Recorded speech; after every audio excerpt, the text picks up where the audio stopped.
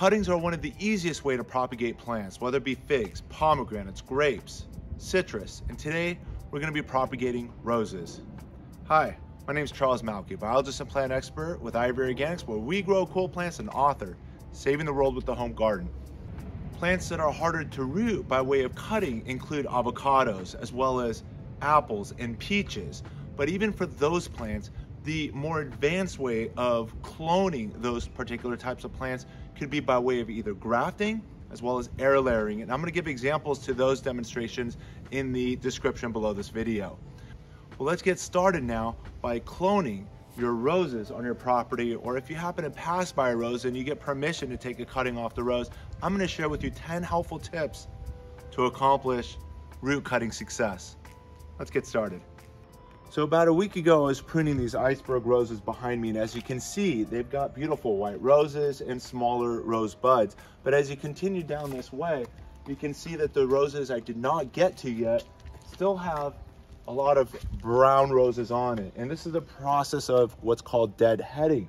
Deadheading is a process of removing the wasted dead roses and making sure that the rose energy is going towards producing more rose buds and ultimately more rose color. But as you can see, there's more green than there is white um, as a lot of the resources are now going towards creating the rose hips, which is the seeding phase of the plant. And we don't want the seeds of these plants. We want some more growth. We want some more buds and ultimately some more white blossoms.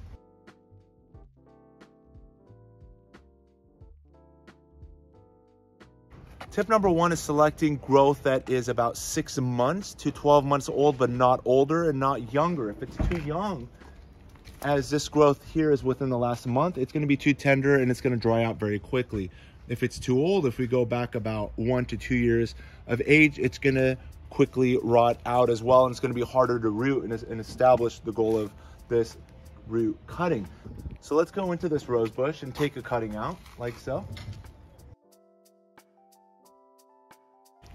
And what we're gonna do is we're gonna take off the most tender growth, being the top part, it happens to be in bloom, but we're still gonna propagate it like so. And now let's prepare this cutting for rooting. Follow me. And so now we've got this cutting, and tip number two is to make sure your cutting is about six to 10 inches in length. And if it's too long, it's also gonna dry out too quickly. And if it's too short, you don't have much of a plant structure to work with. So the goal is to result with at least a few nodes, a couple nodes that are gonna be buried in, a couple of nodes that are gonna be above the ground. And even from there, you can quickly kind of tell where the nodes are because the nodes are at every leaf development. So there's a node here and a node there and a node here and a node there and a node here. So for a total of one, two, three, four, five, six nodes in this about eight inch cutting. Tip number three is to make sure that you're cutting near the node within a quarter of an inch. So here at the bottom, if you take a look, we're within a quarter of an inch when we took this off the parent plant, about a quarter of an inch away from the node. And this one here was already pruned several weeks ago. And you can see it's already um, begun to harden off. But let's say I wanna make this cutting a little shorter. I just wanna show you by demonstrating another cutting that we're cutting it like so, about a quarter of an inch away from the next node. And if you take a look within the leaf, you can see there's a little bud in there. And the goal is to develop the next rose branches out of these buds that are hidden within these leaf nodes. Tip number four is to score the bottom of the cutting to increase with the moisture absorption as well as increasing the surface area for root development. So when you take a look here, this here is the bottom of the, our cutting. And what we're gonna do is simply score it like so. And now we've got an area that's gonna increase with moisture absorption as well as root development. Tip number five is adding a rooting powder. And a rooting powder helps stimulate root development, but also equally important is that it helps inhibit and prohibit mildew and mold on that cut surface. If you're looking for a natural way to help inhibit and prevent mildew on those cut surfaces, you can also use honey as well as cinnamon for natural alternatives. What we're gonna do now is remove the leaves that are gonna be buried within the soil medium that we're gonna be demonstrating next. And this node is gonna be under the soil surface. This node is gonna be under the soil surface. And I'm even gonna take this third leaf off as well. So that's the three nodes that'll be below the soil medium. And now we're going to be adding the rooting powder like so. And now for the container that we're gonna be planting or cutting in, we're simply adding some drain holes with our scissor here. So you can see that there's drain holes that will allow the moisture to pass like so from the bottom. What we're now gonna do is prepare the soil medium simply by mixing 50% vermiculite with 50% perlite. If you only have one, that's fine. They both have different benefits, which are similar to help stimulate root development.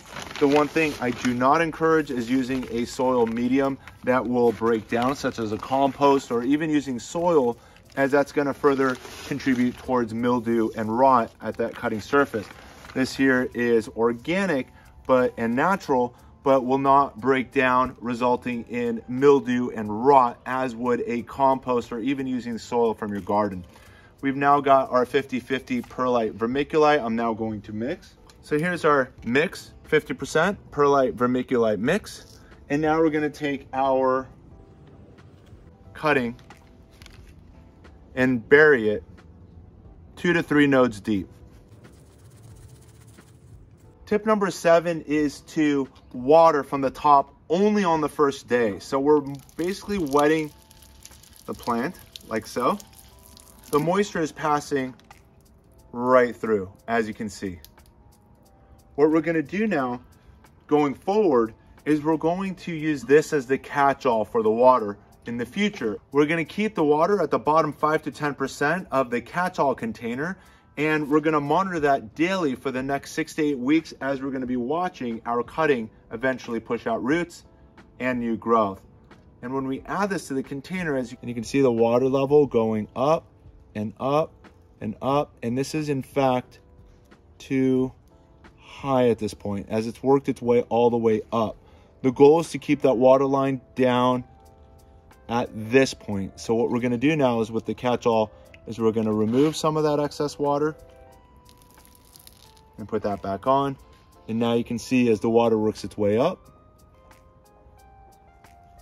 that moisture is at the bottom, five and 10% and that's going to help encourage our cutting to push roots to get into that wet zone and some of the water will naturally wick its way up into the soil medium which helps absorb moisture but at the same time not excessively as would a compost or using native soil from your garden. Tip number eight is to help with the cutting shock and one of the things that we're going to do is simply remove some of these excess leaves. So we're going to remove this leaf over here and we're going to remove we can remove these three leaves over there. And we're keeping a few of the leaves to help with the processes of photosynthesis in addition to making the proteins and so forth and help encourage root development of this particular cutting. But eventually these leaves will fade as the new growth begins.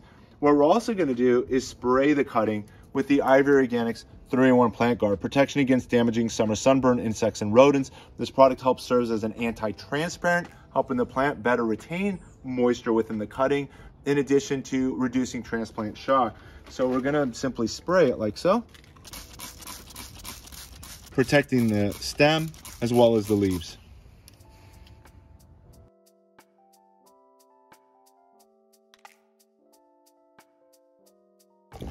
And take a look at our cutting here, and you can see roots developed from our cut surface. Those parts of the branch that have not grown, we're gonna remove. We're basically pruning it one quarter of an inch from that growth. We're going to also prune this branch back. And we are going to remove the blossoms, which are taking up a lot of the energy and resources from the plant. As in the first year, you should allow the rose to focus more so on root development and growth. And here we are. We're now going to plant it in our rose bed.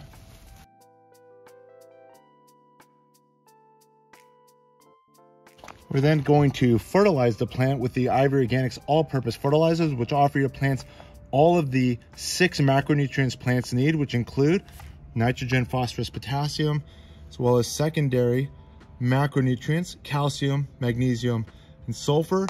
So the plants have all of the macronutrients that they'll need. And we're simply going to lightly fertilize the plant as it's newly getting established in its new place. But we want to make sure the plant has everything it needs to succeed. If you've enjoyed this educational lesson brought to you by IV Organics, be sure to give us a thumbs up and most importantly, share us with your gardening friends and family. And if you have not already subscribed, be sure to subscribe and hit that push bell notification to stay informed of all of our educational lessons as soon as they become made available.